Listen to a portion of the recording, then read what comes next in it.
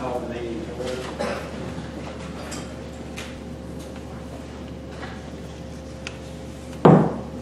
Let's call the meeting to order. We do have quorum. Councilman Davis, Councilman Warren, Councilman Benjamin.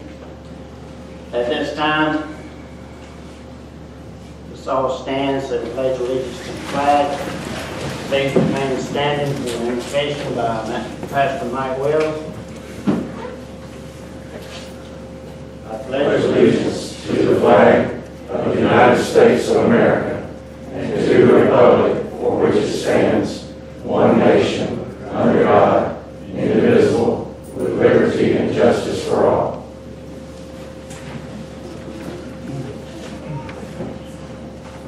Let's pray. Lord Jesus, we come to you on this national day of prayer, Lord, that our nation is set aside, Lord, to honor you, to seek wisdom from you, Lord.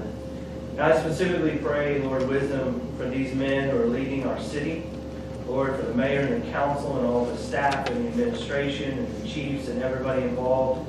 God, we just ask, Lord, that you would, um, Lord, just speak to them and let them know, Lord, where you want them to go, where you want them to lead us. And Lord, for all the owners here today, Father God, and representing their interests, Lord, I pray that you would give us all wisdom to know how to go forward in what you ask us to do.